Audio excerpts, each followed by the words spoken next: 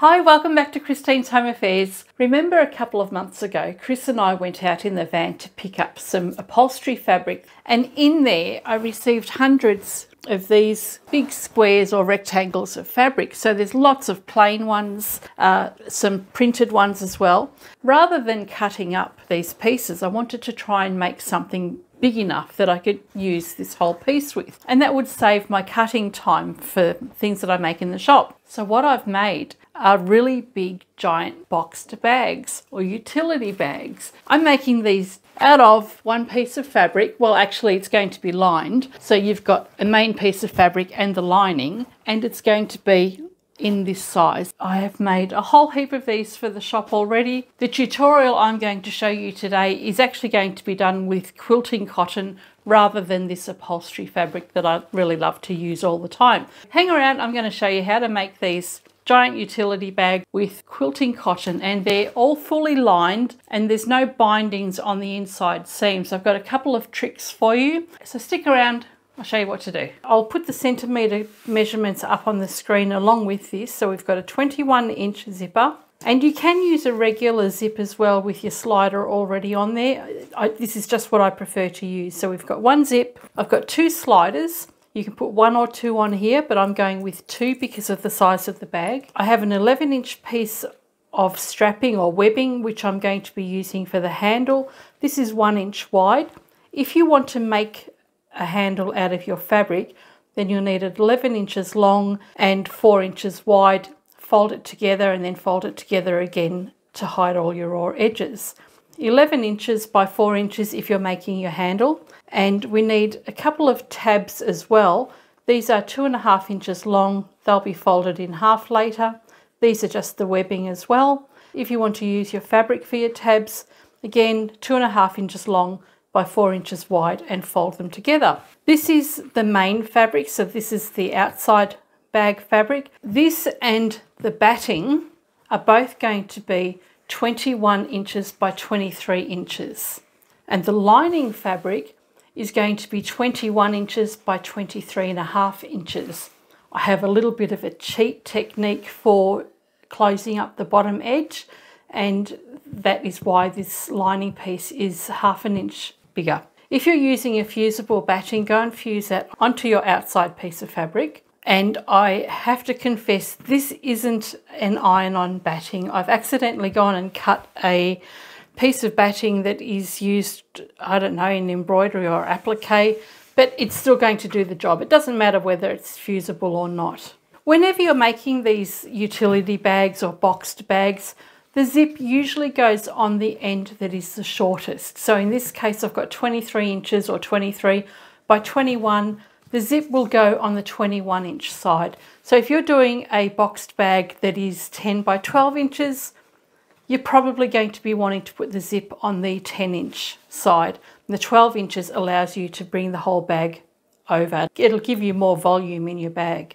Once you've fused your batting to the wrong side of the main fabric, Take your zip and we're going to place it with the zipper teeth faced down and we're putting it on the short side of our fabric. Place the zipper teeth down and we're going to clip that together. So just place it evenly over the top. It doesn't matter if it overhangs a little bit on the ends because we can trim that after. Once you've clipped the zip on, we can tear this zipper tape off now and bring that to the other end and we can clip this one in place as well. We've got the wadding and the fabric and the zip clipped together. Take your lining piece and with the right sides together, you clip the lining piece onto the zip. I've got a label on here, so I'm actually putting my labels on the inside of my bag this time. This is the right side of my fabric. We'll place the right sides together, line that up evenly along the edges there and along the top, and then you can clip that in place, all the layers together. Go to the other side and you're going to line that up as well. And you'll notice that there's a little bit of bulk, extra bulk in the center here. Ignore that for now, we'll sort that out shortly. Clip this in place, double check that you've caught everything, stitch down both edges to secure all those layers. I've got my zipper foot on and I'm just going to stitch really close to the lump that you see on the um, where the zipper is there. Do a back stitch at the beginning and the end.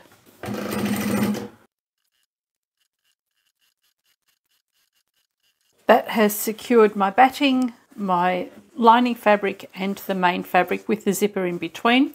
Turn it around and repeat the same for the other side.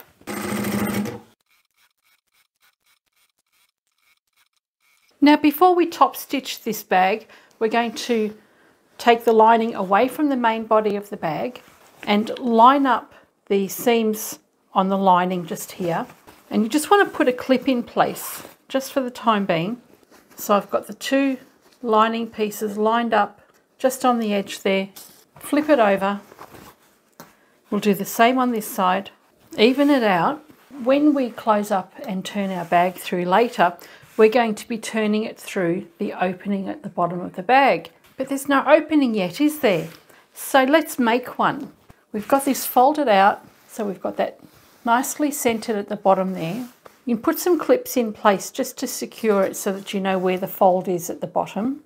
We're going to leave an opening of about that much, so it's maybe four or five inches. Go to the machine and using a quarter inch seam allowance, stitch this fold closed. So start at the top, we'll do a back stitch, come to here, back stitch, come start here again and do the same thing along here. So what you're doing is creating a false seam. And once we've actually done that, we can come along here and we'll just slice open this very top edge, which will be the opening for the bag. It just helps prevent having to put two pieces of fabric together.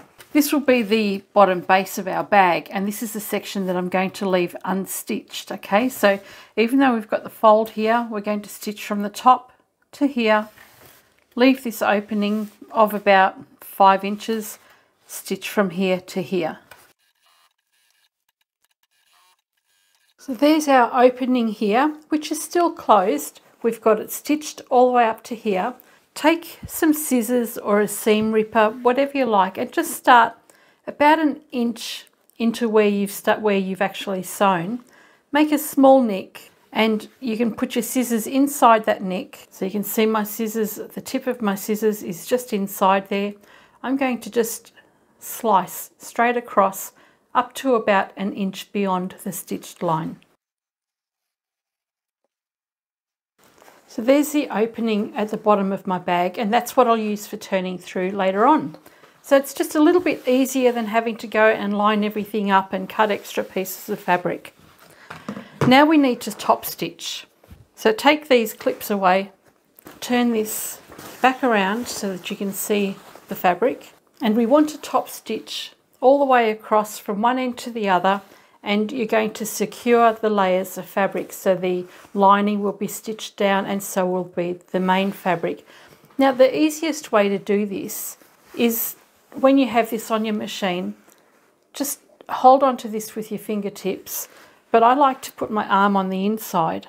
So I'll just stick my arm in here and as I'm sewing, I'm using my arm to pull my fabric taut. So I'm actually, you can see here, I'm using my arm as a guide to pull the layers of fabric away from the zip and then I'll stitch along like that. Okay, make sure that your lining fabric is away from the zip and the top is away from the zip as well. I'm going to use my regular foot to do the top stitching because I find it's just a little bit easier to guide that along the edge of my fabric. I'm using the edge of my foot or the center of my foot as my guide and I start sewing.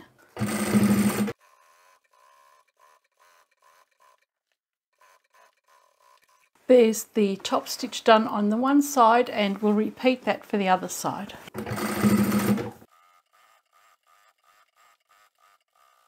Alright, the top stitching is done on both sides. We've got that finished nice and neatly along there. You can see the centre opening just here. This is where we'll be turning our bag through later on. What we need to do now is put our zip sliders on. The best way I find to put my sliders on is on a nice hard flat surface. Have the main fabric facing up with your zip on this side. Bring the other side around and over the top. You can see the lining is on the outside and line up the sides of the zip here. And I'm going to have the curved section of my zip going on first. So I'm going to put that onto my slider just until it meets a little bit of resistance. Once that's on, I'm actually going to run this all the way off to the other side. So here's my zip. I'm just going to run it straight off and I've closed up the zip. I'm doing this because I actually want to put two sliders on and I need them to go in at opposite ends from each other and it's easier if you've got the zip nice and level all the way across. Open this out partially, take the curved edge, again put that in first and I'm just going to slide that across till it gets to about the middle. And now I'm going to come with another slide from the opposite end. Open that out again and bring that across to meet the one that's already there.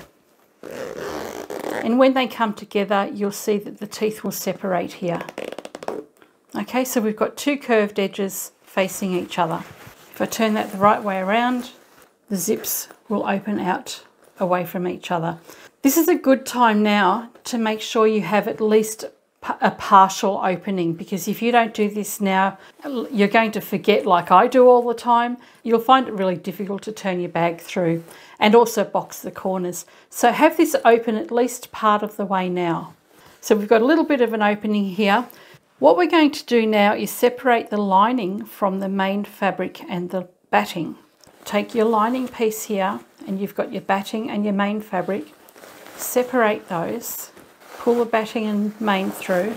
So what you've got is your lining section here and the main body of your bag just here. Find the center point. We've already got the center point here because we've put a seam down.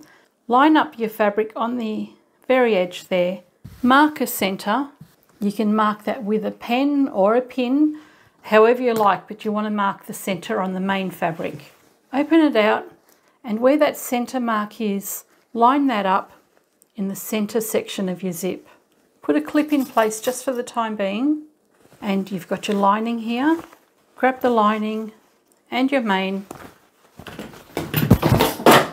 Okay, what happened you ask? Remember when I was in the other sewing room and I told you that the camera kept falling on my head? Well, this time I've knocked it flying across the room. So the tripod fell off my work table, knocked my clips flying, and everything's gone all over the place. But it didn't land on my head. Let's do that again. Well, maybe not the part where I dropped the tripod. I've got the clip in place here, and we want to line up this false seam with the center of the zip. Just pop those layers together. Then you can distribute this nice and evenly. With this side clipped down now, Grab one of your tabs, fold it in half, and we want the raw edges facing the raw edges here. So the folded edge, you just want to slide that in between the layers and you want to slide this in between the layers of the main fabric, not between the layers of the lining, okay? Put your tab in between the layers of your main fabric in the center there, right in the middle where the zip is, and secure that in place. Do the same for the other side. You want to find the center of your fabric. Place the center of your zip over the top. You can put your tab in place first. So that will go in your main fabric. Take the lining piece and that false seam, lay that directly over the top and then even that out across. So now we're ready to go and stitch this all the way down here and along this side as well. Now before we do that, we are going to be boxing our corners soon. And Rather than stitching from one end to the next and wasting your thread as well as your stitching time, mark two inches from the bottom or from the side edge. You just make a mark there, same on each side. It's just a rough mark and we're going to go to the machine and we'll be stitching from here to here. We're going to be cutting these corners out when we do the boxing. Uh, so from here you want to do a back stitch along here and do a back stitch along there. Make sure you do that back stitch at least on the inside of this section here. So you want to have a few stitches there holding that in place so that when you open out your corners it doesn't unravel. We've got a zip underneath here and we've also got our tabs. So where we do uh, the stitching along here, I'll stitch along, then I'll go back again and then forward. So I'll do one, two and three and then continue on down. Let's stitch that together. I've got my batting, my lining and the main fabric all enclosed here and I've got my little uh, tabs for the end of my bag as well. So everything is enclosed here. Now, rather than doing a quarter inch seam, I'm going to do just slightly bigger, not quite half an inch. I don't think it needs that much, but I'm going to do just a little bit over a quarter of an inch seam. If I were using upholstery fabric instead of this quilting cotton, I'd actually go and double stitch this. Okay, you can see I've stitched from here to here and I've done a back stitch at the beginning and the end and I haven't worried about stitching this because these bits are going to be cut off. I have a two inch template because I'm making such a big boxed bag I'd like to have a two inch corner uh, and if you're going to make something smaller you might only want one and a half inches or even one inch. So where this stitching line is, if you continue that line down, we're going to line up our template on the edge of the stitching line there.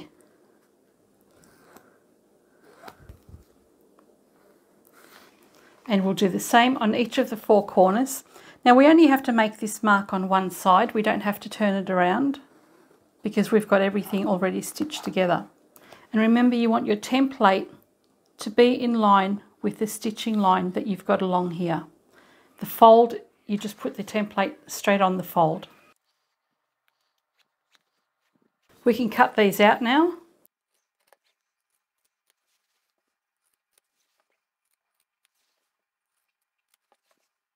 And you can see I'm just going in one direction to do my cuts and then turning rather than having to double handle everything as well. This helps me with my assembly line sewing as well. Now we have our four corners that we need to box. Now, I'm not going to lie to you, this part is a little bit tricky, but once you've done this a couple of times, it's really, really simple. it's just a little bit difficult to get your head around it the first time. We have our strapping, which is for our handle. Mark a pin or a clip in the center of the main fabric. So this is our main fabric here. Find the center or the, on the fold there. Put a pin mark in there for the time being and do the same on this side as well. We're only doing this at one end because we're only going to be putting a handle in at one end. So whether you mark that line with a pen or a pin, it's up to you. Take your strapping or the handle that you've chosen to fold and stitch together, slide that in across and lay that across the center there. So you want the strapping or the handle to be centered with the pin. Put a clip in place there, take the other side, Make sure that the strapping is the right orientation, so you don't want it twisted, and lay that over on the other side. So our strapping is just sitting inside there. Take the seam section here and bring that to the center of the strapping. Start opening your batting and your main fabric so that the center seam there matches with the center of your strapping and that this is nice and straight clip that side to the other side. Just leave your lining out of the way just for the second and line up that side as well. You want to have that nice and even. So we've got our main and our batting clipped together on the corner. We want to also secure this to the same piece of fabric. Open out the lining piece and take this corner here and this corner here and open them out. Now before we do that, let's just go into the opening here and make sure our zip is open almost all the way. If you have it closed or too far closed, it's going to make it really difficult to manipulate the corners. So we'll just open that zip almost all the way. Go back to this fold here and open it out And when you open that out, fan that out or spread it out so that that's in line with the main fabric. Match up the corners and then you can start matching up the rest of it. So now we have the lining piece of fabric and the main fabric with the batting all together and this is going to be stitched all in one go and I do like to double stitch this as well. So that's one corner done. Now you can go and do the other corners. So this end of the bag has the strapping on it for the handle. Bring the centre together in line with the centre of the handle. Just secure that again.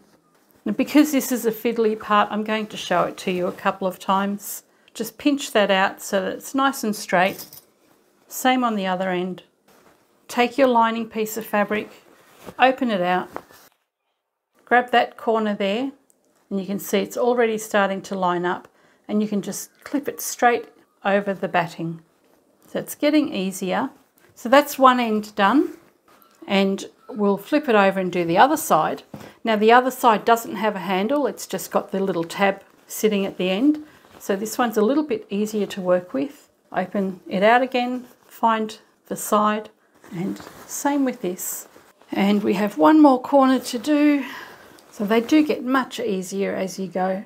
Okay, so we now have a nice jumbled mess here, but we can take that to the machine, stitch all of these down. As I said, I like to double stitch them, then the bag's finished, and all we need to do is turn it the right way around.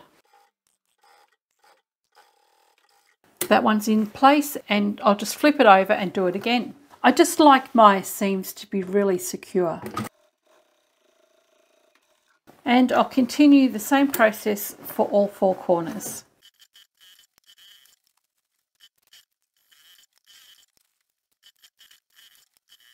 And the bag is now completely finished. All we have to do is turn it the right way around and close the opening inside. Okay, let's turn this through. poke all the corners out. Once you're happy with that, grab that false bottom that we created earlier, pinch that out and we can stitch this closed. It's up to you if you want to whip stitch this closed by hand. I'm going to take that to the machine and close it up. My opening is just here and you can see I've got my raw edges just folded underneath. I'm going to start stitching this closed about half an inch to an inch on the side that's already closed and I'm going to stop sewing about half an inch to an inch beyond this opening here. That's stitched really close to the very edge there. You can probably barely see it. And that is our bag completely finished. Let's have a look how it's turned out. All right, we're completely finished now. I'm going to turn it the wrong way around. So there's the lining on the inside, no raw edges on the side. You haven't had to go and make any bindings for it. All the raw edges are neatly tucked away on the inside with the lining and the main body of the bag actually stitched together. Turn it the right way around and if you've got two zips, you can close that up with both of your zips or just with the one. It will work really well either way. There's your handle here, your little tabs on the end and your zipper. You can actually attach some cord to these zipper sliders as well. Job's done. So there you go. These are just some of the bags that I've been making in the past few days. All of these ones here have been made with upholstery fabric and I haven't actually put any batting in these at all. So if I show you the inside of these, all the seams are completely enclosed and you've got no exposed bindings or raw seams. So as I said, these ones don't have any batting or stabilizer in them at all, but because they're upholstery fabric, they sit quite firmly and I don't think they really need to have any stabilizer in them. This one, however, was done with the quilting cotton. So I've used just a grey check quilting cotton on the outside. On the inside, I've got a sort of a moss or seaweed coloured green on the inside. I've already had these hanging up in the shop today, so I've just put some paper in there to keep it nice and full. And this one has the batting inside the, the main fabric. I think these have turned out pretty good from that one piece of fabric that I showed you at the beginning of the video rather than cutting it up and making smaller bags because I've got so many small pieces of fabric. I thought I might as well make something bigger And I think it'll also be something really versatile for the guys as well. Uh, I don't have enough in the shop for them and using the plain upholstery fabric, I think these are going to be really good blokey colours for them or textures for them. How long did they take me? Well, the first one took me an hour because I was trying to get my head around what I was going to do. The next few I made in a batch just to see how my production line would go and it took me about 40 minutes per bag. I've got it down to 30 minutes per bag. Now that includes cutting time as well. I'm still doing my bags in multiples, so when I cut a fabric out, I'll cut out enough fabric to do half a dozen bags rather than just do one bag at a time. So that's how I can keep my time down. If I were just doing one bag, of course, it would probably take me an extra 10 or 15 minutes by the time I source my fabric and cut everything out. One bag averages out at about half an hour. Now, this time round, we're actually going to have some fabric costs because I actually purchased this fabric. It wasn't a rescued or recycled fabric. So in this one here, I've got brand new fabric, new zips and handles, so everything is brand new. The retail value of the fabric and the zips and the sliders and the handle and my label, because I do have a label on the inside, the retail fabric of one of these is roughly $20. That's Australian dollars. And as I said, it takes me about half an hour to make these and I charge my labour rate out at $45 an hour. But I've decided that rather than just making these a $40 bag, I'm actually going to take a punt. I've priced these at $55 just because they're so big and they're quite robust.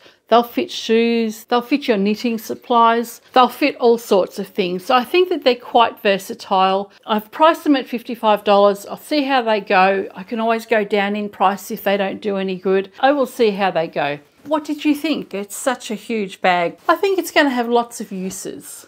What would you use it for? And let me know what you think. Catch you next time.